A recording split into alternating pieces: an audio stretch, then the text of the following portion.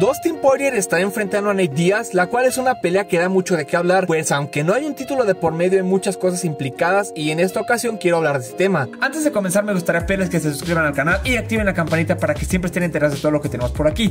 Asimismo quisiera invitarlos a que nos sigan en Instagram, Facebook y TikTok, nos pueden encontrar como The Blue Fox. También quisiera recordarles que tenemos nuestro canal de respaldo MMA Resúmenes Español, donde subimos videos de manera menos frecuente, pero podrán encontrar contenido allá. Por si gustan suscribirse les dejaré los links en la descripción de este video. Sin más que agregar por el momento vamos a comenzar. Esta pelea parece que finalmente será una realidad y ambos entrarán al octágono en una fecha que al menos hasta la grabación de este video es desconocida. Personalmente pienso que sería mucho más atractiva una trilogía entre Nate Diaz y Conor McGregor, que son dos peleadores que tienen historia y que las ventas por ende superarían con creces a las de la mayoría de los pagos por evento del año.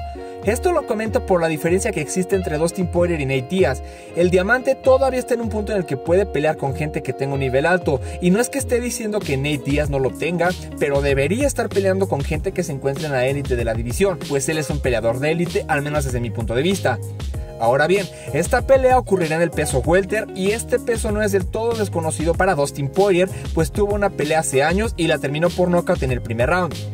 Sin embargo, hay un factor que entra en juego en esta pelea y no podemos pasarlo por alto, y ese factor es el estado del contrato de Nate Diaz, a quien solamente le queda una pelea y seguramente Nate Diaz quiere quitársela de encima cuanto antes posible. Existió mucha especulación sobre quiénes pudieron haber sido los contendientes que querían darle a Nate Diaz, y pienso que Hamza Chimaev pudo haber sido uno de ellos, pero Nate Diaz seguramente debe haber declinado.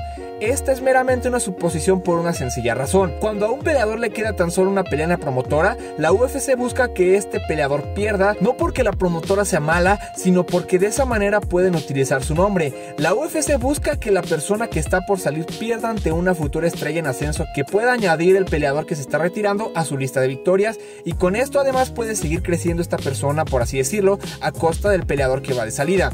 Esto podemos verlo en casos como Randy Couture, BJ Penn y claro, Nate Diaz no será un caso diferente. Esto no es algo malo por parte de la UFC, sino que es un movimiento muy inteligente que tiene mucho sentido. Es por eso que no dudo que hayan sugerido a Hamza Chimaev para la pelea del retiro de Nate Diaz.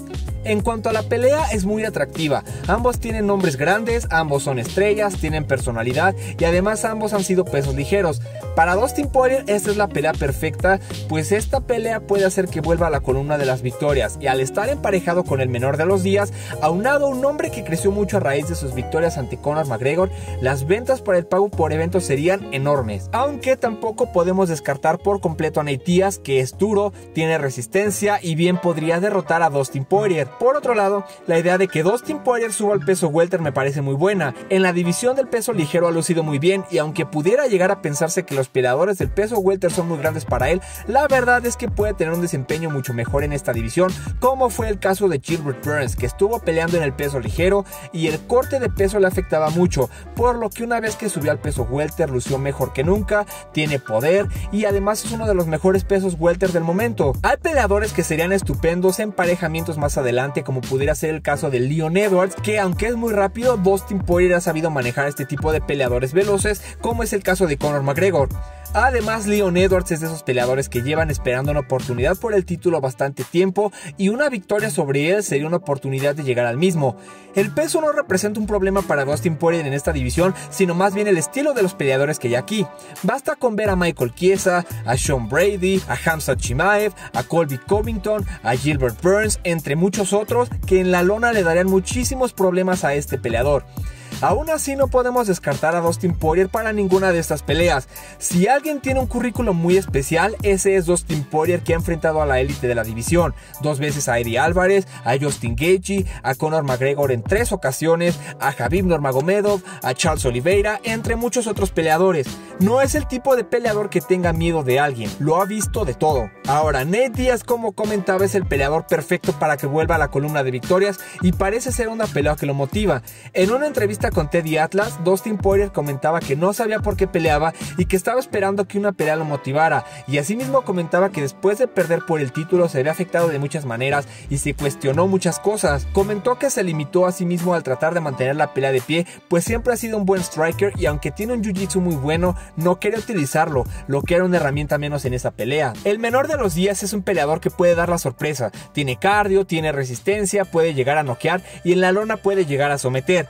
Es cierto que ya no se encuentra en su mejor momento como cuando enfrentó tal vez a Donald Cowboy Cerrone y le ganó, y eso que estamos hablando de hace más de 10 años, cuando Cowboy era un peleador de élite que estaba venciendo a cualquiera que le pusieran enfrente. Además ya se había programado esa pelea anteriormente, la de Dustin Poirier contra Nate Diaz, pero no se pudo dar, y creo que si hay un momento para hacerla es ahora, la cual también es una gran pelea de despedida si es que no renueva su contrato Nate Diaz.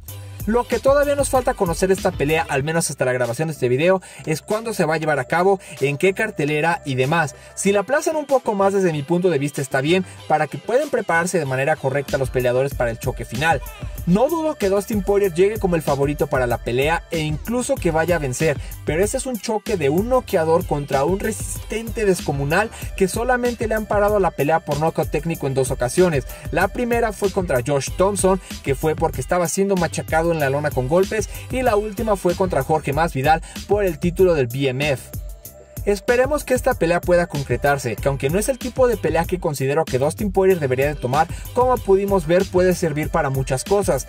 Y si se retira Nate Diaz después de esto lo vamos a extrañar, pues ha estado en la UFC desde el 2007, el cual visto en retrospectiva parece como una eternidad desde entonces, parece como si Nate Diaz hubiera estado en la UFC desde siempre. Hasta aquí llega el video del día de hoy, si les gustó los invito a darle like, suscribirse, compartirlo con sus amigos y activar la campanita para que siempre estén enterados de todo lo que tenemos por aquí. También quisiera recordarles que nos pueden seguir en Instagram, Facebook Y TikTok. Nos pueden encontrar como The Blue Folk. Y yo me voy, pero nos vemos en el siguiente video. Bye.